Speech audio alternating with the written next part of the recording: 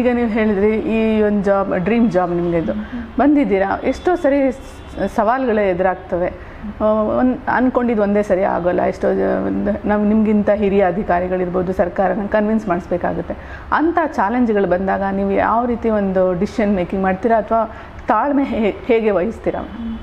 ಇದರಲ್ಲಿ first of all ನಾವು ಏನು ಅರ್ಥ ಮಾಡ್ಕೋಬೇಕು ದಟ್ ಪ್ರತಿ ಸಲ ನಮ್ಮದು ಡಿಸಿಷನ್ಸೇ ಸ್ಟ್ಯಾಂಡ್ ಆಗಲ್ಲ.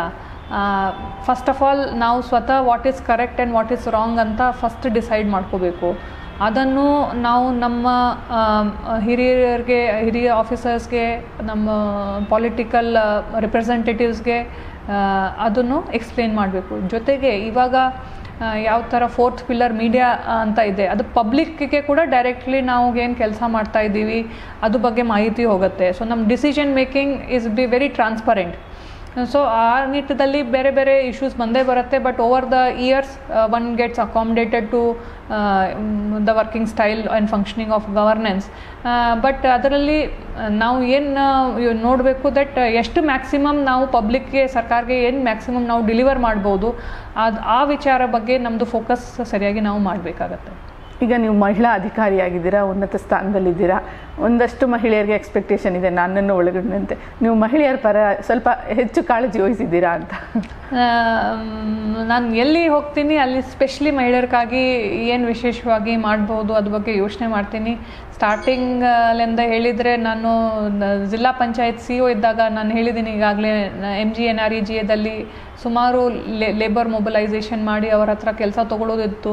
ಅಲ್ಲಿ ಮಹಿಳೆಯರು ಸಂಖ್ಯೆ ಜಾಸ್ತಿ ಇರಲಿಲ್ಲ. ಒಂದು ಸತಿ ಅದು ನಾವು ನೋಡುವಾಗ ಯಾಕೆ ಮಹಿಳಾ ಕೂಲಿ ಕಾರ್ಮಿಕರು ಜಾಸ್ತಿ ಸಂಖ್ಯೆಯಲ್ಲಿ ಬರ್ತಾ ಇಲ್ಲ ಅಂದರೆ ಅವ್ರಿಗೆ ಸಮಸ್ಯೆ ಗೊತ್ತಾಯಿತು, ಅವರು ಚಿಕ್ಕ ಮಕ್ಕಳು ಇರ್ತಾರೆ.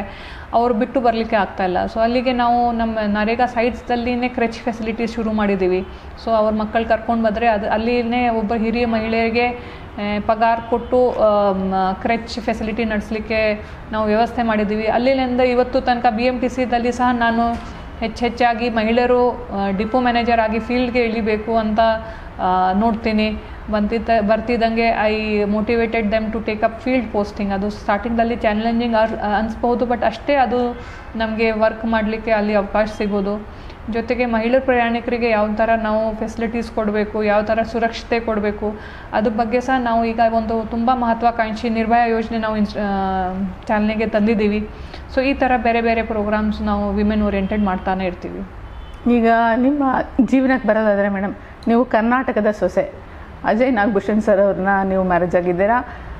ಅಂದರೆ ನೀವು ಬ್ಯಾಚ್ಮೇಟ್ ಹೇಗೆ ನಿಮ್ಮ ಅವರ ಒಡನಾಟ ಶುರುವಾಯಿತು ಅಂತ ಹೇಳಿ ಮೇಡಮ್ ಹೌದು ಅಜಯ್ ಇಸ್ ಮೈ ಬ್ಯಾಚ್ಮೇಟ್ ನಾವು ಇಬ್ಬರು two thousand four I A S batch ದಲ್ಲಿ ಸೇರಿದ್ದೀವಿ. ಸೊ ನಾನು ಫಸ್ಟು ಕ್ಯಾಡರ್ ಅಲಾಟ್ಮೆಂಟ್ ಆದಾಗ ನಾನು ಜಾರ್ಖಂಡ್ಗೆ ರಿಪೋರ್ಟ್ ಮಾಡಿಕೊಂಡೆ. Since Ajay was from Karnataka ನನಗೆ ಇಲ್ಲಿ ಈ ರಾಜ್ಯಕ್ಕೆ ಟ್ರಾನ್ಸ್ಫರ್ ಸಿಕ್ಕಿತ್ತು. ಅಲ್ಲಿಂದ ನಾವು ಸತತವಾಗಿ ಐದರ್ ನೇಬರಿಂಗ್ ಜಿಲ್ಲೆದಲ್ಲಿನೇ ಕೆಲಸ ಮಾಡೋದು ಅಪಾರ್ಚುನಿಟಿ ನಮಗೆ ಸರ್ಕಾರದಿಂದ ಸಿಕ್ತು. ಫಸ್ಟ್ ಪೋಸ್ಟಿಂಗ್ ನಾನು ಎ ಸಿ ಗದಗ್ ಆದಾಗ he was A C Savanur ಆಮೇಲೆ ನಾನು ಜಿಲ್ಲಾ ಪಂಚಾಯತ್ ಧಾರವಾಡಗೆ ಇದ್ದಾಗ he was Hubli Dharwad commissioner and then later on HESCOM M D so ಮತ್ತು ನಾನು ಡಿ ಸಿ ಮೈಸೂರು ಆದಾಗ he was D C Mandya so ಆ ಥರ ಸರ್ಕಾರ ನಮಗೆ ಅಟ್ಲೀಸ್ಟ್ ಆ ಪಾಯಿಂಟಲ್ಲಿ ತುಂಬ ಅನುಕೂಲ ಮಾಡಿ ಕೊಟ್ಟಿದೆ. ಇವಾಗ both of us are in Bangalore ನೀವು ಮ್ಯಾರೇಜ್ ಆಗೋ ಡಿಸಿಷನ್ ಬರೋಕ್ಕೆ ನೀವು ಸೇಮ್ ಒಂದು ವೇವ್ ಲೆಂತ್ ಮ್ಯಾಚನ ಅಥವಾ ಯಾವ ರೀತಿ ನೀವು ಈ ಮ್ಯಾರೇಜ್ ಆಗಬೇಕಂತ ಡಿಸಿಷನ್ ತೊಗೊಂಡು ಆ್ಯಕ್ಚುಲಿ ನೀವು ನಂಬಲ್ಲ it was an arranged marriage so ನಾವು ಬೇಚ್ ಬ್ಯಾಚ್ಮೇಟ್ಸ್ ಇದ್ದಾಗ ಕೂಡ ಇದು ನಮ್ಮ ನನ್ನ same ಟೈಮ್ದಲ್ಲಿ my family was searching for a suitable alliance and Ajay's family was also doing the same so ಆ ಟೈಮ್ದಲ್ಲಿ ನಮಗೆ ಅರೇಂಜ್ ಮ್ಯಾರೇಜ್ ಆಗಿತ್ತು but what turned out to be an arrange marriage was also ಯಾಕೆಂದರೆ ನಮ್ಮದು wavelength ನೀವು ಹೇಳಿದ ಹಾಗೆ ನಮ್ಮದು thought process and wavelength ತುಂಬ ಕಡೆ ಒಂದೇ ಥರ ಇದ್ದಾಗ ಕೂಡ ತುಂಬ ಕಡೆ ಎಕ್ದಮ್ ಅಪೋಸಿಟ್ ಇದೆ ಫಾರ್ ಎಕ್ಸಾಂಪಲ್ ನಾನು technical field I T related ಫೀಲ್ಡಿಂದ ಬಂದಿದ್ದೀನಿ he's a doctor at the same time ನಮ್ಮದು ಸೊ ಬ್ರಿಂಗಿಂಗ್ ಅಪ್ ಬ್ರಿಂಗಿಂಗ್ ಕೂಡ ಸುಮಾರು ಡಿಫ್ರೆಂಟ್ ಇದರಿಂದ ಇತ್ತು. But it's a kind of healthy atmosphere that even though we belong to different kind of thought processes we gel so well ನಾನು sir ಅವ್ರನ್ನೂ ನೋಡಿ ಮಾತಾಡ್ಸಿದ್ದೀನಿ madam. ಅವರು ನಿಮ್ಮ ಥರ ತುಂಬ ಸ್ಟ್ರಿಕ್ಟ್ ನಗೋದು ಕಡಿಮೆ. ಅದೇ ಒಂದು ಅದೇ ಒಂದು ಜಾಯ್ನ್ ಆಗೋ ಕಾರಣ ಆಯಿತು. ಇಲ್ಲ ಇಲ್ಲ. ಆ, ಥರ ಇಲ್ಲ. Ajay actually is more serious than me ನಾನು ನಗುವುದು ಕಡಿಮೆ ಅಂತ ನೀವು ಯಾಕೆ ಹೇಳ್ತೀರಾ ಗೊತ್ತಾ ಗೊತ್ತಾಗಿಲ್ಲ but as we enjoy each others company and we like very much like spending time ಈಗ ಒಂದೇ ವೃತ್ತಿ ಆಗಿರೋದ್ರಿಂದ ನಿಮಗೆ ಅವರು ವೃತ್ತಿ ಜೀವನದಲ್ಲಿ ಒಂಥರ ಏನಾದರೂ ಸಪೋರ್ಟಿಂಗ್ ಆ ಥರ ಏನಾದರೂ ಇದೆಯಾ ಮೇಡಮ್ ಅಂತ ಖಂಡಿತ ಇದೆ. ಯಾಕೆಂದರೆ ನಾನು ಹೇಳಿದ ಹಾಗೆ ನಮ್ಮ ಸ್ಪೆಷಲಿ ವಿಮೆನ್ ಕರಿಯರ್ ಪ್ರೋಗ್ರೆಸ್ ಚೆನ್ನಾಗಿ ಅದೇ ಮಟ್ಟಿಗೆ ಆಗೋದು ಇದ್ದರೆ ಹಸ್ಬೆಂಡ್ ಸ್ಪೌಸ್ ಸಪೋರ್ಟ್ ತುಂಬ ಇಂಪಾರ್ಟೆಂಟ್ ಇದೆ. ಈಗ ನನಗೆ ಏನು ಅನುಕೂಲ ಆಯಿತು since is from the same profession so ನಮ್ಮ ಪ್ರೊಫೆಷ್ ನಮ್ಮ ಪ್ರೊಫೆಷನ್ದು ಏನು ಡಿಮ್ಯಾಂಡ್ಸ್ ಇದೆ, ಏನು ಕಂಪಲ್ಷನ್ಸ್ ಇದೆ, ಅದು ಅವ್ರು ತುಂಬ ಚೆನ್ನಾಗಿ ಅರ್ಥ ಮಾಡ್ಕೊಳ್ತಾರೆ. ಸೊ ಅದು ಒಂದು ಜೊತೆಗೆ ನಾನು ಇಲ್ಲಿ ಸ್ಟೇಟ್ಗೆ ರಿಪೋರ್ಟ್ ಮಾಡುವಾಗ ಸ್ಟಾರ್ಟಿಂಗಲ್ಲಿ ನನಗೆ ಲ್ಯಾಂಗ್ವೇಜ್ ಸಮಸ್ಯೆ ಇತ್ತು ಲ್ಯಾಂಗ್ವೇಜ್ ಬ್ಯಾರಿಯರ್ ಇತ್ತು. ಯಾಕೆಂದರೆ ನಾನು ನಾರ್ತ್ ಇಂಡಿಯನ್ ಬಂದಿದ್ದೆ. ಸೊ ಅಲ್ಲಿಗೆ ಕೂಡ ನನಗೆ ತುಂಬ though I was having a formal teacher but ಮನೆಯಲ್ಲಿ ಕನ್ನಡ ಮಾತಾಡೋದ್ರಿಂದ ಅದು ಕೂಡ ನನಗೆ ಬೇಗ ಪಿಕ್ ಆಯಿತು ಪಿಕಪ್ ಆಯಿತು. ಮತ್ತು ಬೇರೆ ಬೇರೆ ಟಾಸ್ಕ್ಗೆ ನನಗೆ ತುಂಬ ಮೋಟಿವೇಟ್ ಮಾಡ್ತಾರೆ ಅವರು.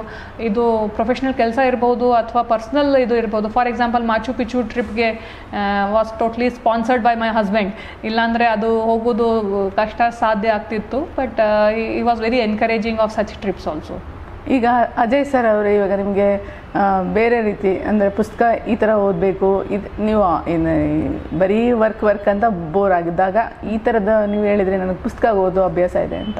ಆ ಥರದ್ದೆಲ್ಲ ಸಜೆಸ್ಟ್ ಮಾಡ್ತಾರಾ? ಇದು ಓದಿದ್ರೆ ಇರುತ್ತೆ ಆ ಥರದಂತ ಅವ್ರಿಗೆ ನನಗಿಂತ ಜಾಸ್ತಿ ಪುಸ್ತಕಗಳು ಅವ್ರು ಓದಿದ್ದಾರೆ ಅವ್ರಿಗೆ ತುಂಬ ಒಳ್ಳೆ ನಾಲೆಜ್ ಇದೆ whether it is English book ಆ ಕನ್ನಡ ಬುಕ್ ಸೊ ಅವ್ರು ಹೋಗಿ ಖರೀದಿ ಮಾಡುವಾಗ ಅವ್ರಿಗೆ ನನಗೆ ಹಾಗೂ ಮಕ್ಕಳಿಗೆ ಮೂರು ಜನಗೂ ಸೇರಿ ಪುಸ್ತಕ ಖರೀದಿ ಮಾಡೋದು ಅವ್ರದ್ದೇ ಕೆಲಸ ಇದೆ. So that way it is nice